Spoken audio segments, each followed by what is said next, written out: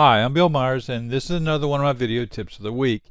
In this week's video tip, I'm going to show you how to quickly locate your Android phone if you've lost it. It's pretty easy to do and you can do this from your computer. What you want to do is you'll want to log into the Google Play Store and to get there is play.google.com and when you get there, click the settings icon and choose Android Device Manager. And if you haven't already logged into your account, you'll be asked to log in.